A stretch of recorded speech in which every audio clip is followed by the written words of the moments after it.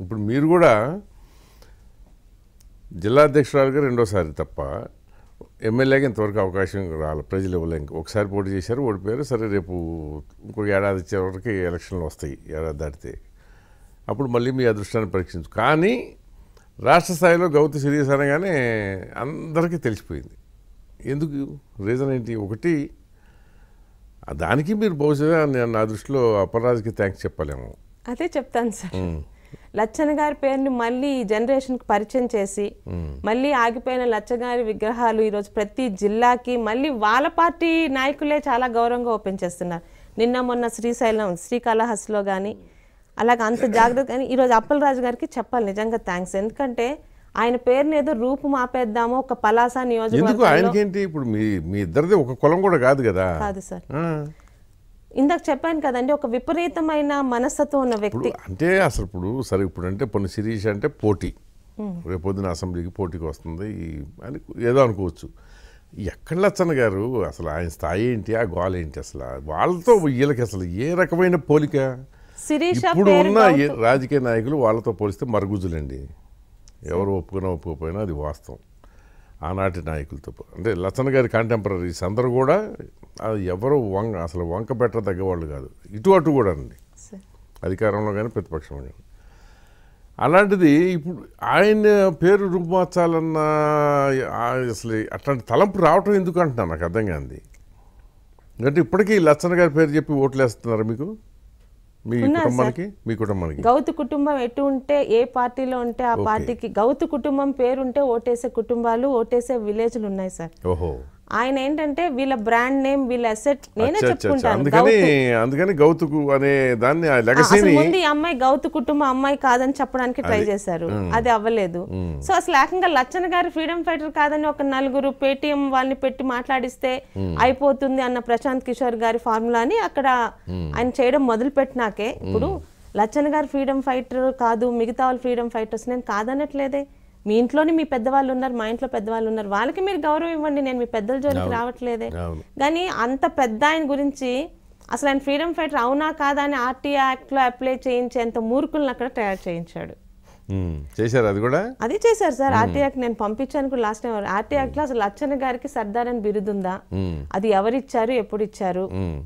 అని ఆర్టీ యాక్ట్లో అప్లై చేసేంత మూర్ఖుల్ని అక్కడ పలాసలో రిప్లై స్వాతంత్రం రాకముందు వచ్చిన వాటికి స్వతంత్రం వచ్చిన తర్వాత ఇన్ఫర్మేషన్ ఉందండి. It is already treated that he's Sardar Gouthu Latchanna అవును. ఆశ్చర్యం ఏంటంటే రాజశేఖర్ రెడ్డి గారు ఎవరంటే జగన్మోహన్ రెడ్డి గారి తండ్రే. ఆయన ఆయనకి ఇచ్చిన గౌరవం మాకు తెలుసు. అదే జగన్మోహన్ రెడ్డి గారు ఉన్న పార్టీలో ఉన్న ఒక మంత్రి లచ్చన గారి గురించి మాట్లాడుతుంటే కనీసం ఖండించటం లేదు. ఆ పెద్దలు కూడా. ఎందుకంటే ఏమో మాట్లాడితే మా పదవులు పోతాయేమోనని భయం తప్పితే ప్రజల దృష్టిలో ఎంత దిగజారిపోతున్నారో వాళ్ళ ఇది. ఈ ఐదు సంవత్సరాల తర్వాత అమరావతి వద్దన్న వీళ్ళు రేపు తిరగగలరా అండి. గోబ్యాక్ అమరావతి రైతులు కారు అన్నారు. రేపు ఉదయం అమరావతి రాజధాని కాబోతుంది. అమరావతిలో అడుగు పెట్టకుండా ఉంటారా వీళ్ళు? అది అప్పటి పరిస్థితి.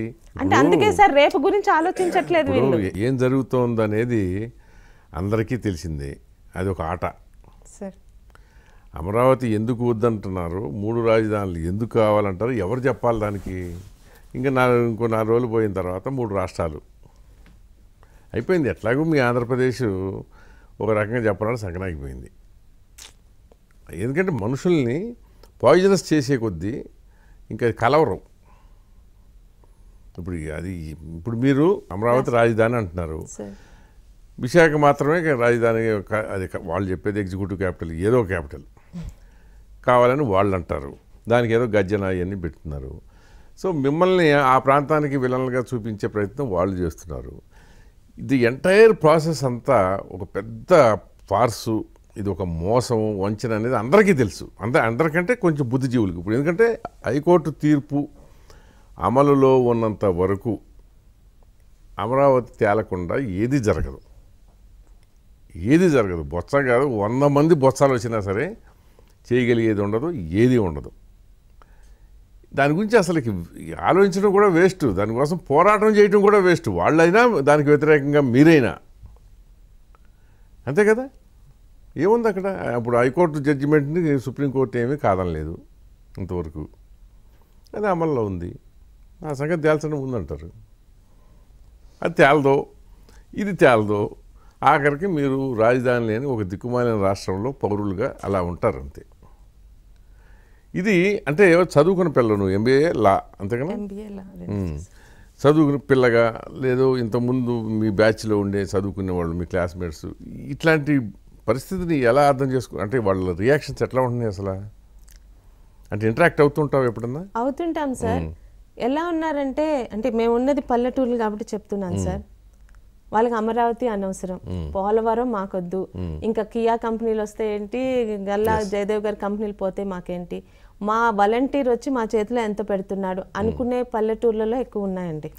రెండోది అసలు అమరావతి వస్తే ఏంటి రాష్ట్రం కలిసి ఉంటే ఏంటి ఈ రోజు మా గల్లా పెట్టి నిండుతుందా లేదా మేము ఎన్ని కబ్జాలు చేసి మేమే కాకపోతే రాష్ట్రం రేపు ఉదయం ఎక్కడికన్నా వెళ్ళి సెటిల్ అవుతామనే స్వార్థపరులు వీళ్ళే కనిపిస్తుంటే మాట్లాడుతున్నారు.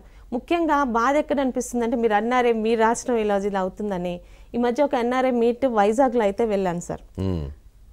వాళ్ళు అక్కడ అంటే ఆంధ్రాకి ఏదన్నా ప్రోగ్రామ్స్ చేయడానికి రెడీ చారిటబుల్ ప్రోగ్రామ్స్ కానీ. ఇక్కడ మాత్రం రూపాయి ఇన్వెస్ట్ చేయొద్దని మా ముందే వాళ్ళు మాట్లాడుకుంటుంటే బాధ అనిపిస్తుంది. ఏదైనా చారిటీస్ చేద్దాం కానీ let us not invest in Andhra హైదరాబాద్లో ఇన్వెస్ట్ చేద్దాం. ఒక్క హైదరాబాద్ సిటీని పెట్టుకొని తెలంగాణ. ఎంత డెవలప్ అయిందో. ఎనీవే మనం తప్పు కూడా పట్టను. ఎందుకంటే if you want to invest మనం రిటర్న్స్ ఎక్స్పెక్ట్ చేస్తాం. పరిస్థితి అలా అయిపోతుంటే మనకన్నా ఎక్కడో ఉన్న వాళ్ళందరూ ఎందుకు అలా తయారవుతున్నారు ఆంధ్ర వాళ్ళు? అలాంటి వాడిని తెచ్చుకున్నారంటే నిజంగా సిగ్గు అనిపిస్తుంది. ఇందులో చదువుకున్న వాళ్ళు ఉన్నారు.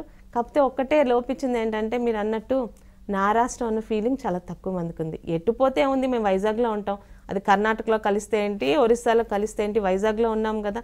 మా ఆస్- ఆస్తులు బాగుంటే చాలా అనుకునే ఎక్కువ అయిపోయాయని అనిపిస్తుంది సార్. కానీ మీరేమి స్టడీ చేయరు. అంటే ఊరికే అసలు అవుట్ ఆఫ్ ఎకనమిక్గా మీరు చదువుకున్న వాళ్ళు కనుక ఇలాంటి భావన అక్కడ మాత్రం ఎందుకు ఉంది ఆంధ్రప్రదేశ్ ప్రజల్లో? ఇది నా రాష్ట్రము ఆ స్టేట్ వుడ్ ఫీలింగ్ అంటాం కదా. భావన ఉంది సార్ కానీ ఎవరు ముందుకు రావట్లేదండి చూస్తున్నాము. మాట్లాడతారు.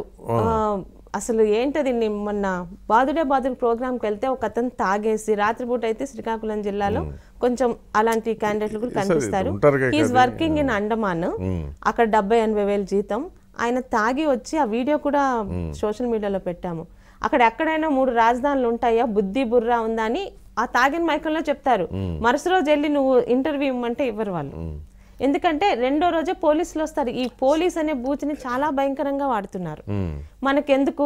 మీరు మీలాంటి పెద్దలు పోరాడతారు కదా వస్తే సంతోషమే. రాకపోతే మనకి ఇంతే ప్రాప్తం అన్న ఒక ఈ లెవెల్కి వెళ్ళిపోతున్నారు తప్పితే పోరాడి సాధించుకుందామని మన పెద్దలు చేసింది చాలా తక్కువ అయిందని నా అభిప్రాయం సార్. అది నిజం అవ్వచ్చు అబద్ధం అవ్వచ్చు. అంటే అదే అంటే ఇప్పుడు నాది నాకు ఉంది నా ఆస్తి నాకు ఉంది అంటే ఇప్పుడు హైదరాబాద్లో ఉన్నారు ఉన్నారండి కోటి మంది.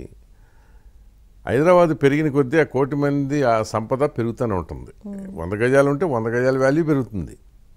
ఆ పరిస్థితి మీకు కూడా ఉండాలని మీరు అక్కడ వాళ్ళు కోరుకోవాలి కదా. ఇప్పుడు అది అమరావతి కావచ్చు ఇంకోటి కావచ్చు ఎక్కడైనా సరే డెవలప్మెంట్ వాల్యూ అప్రిషియేషన్ రెండు కూడా వెళ్తాయి.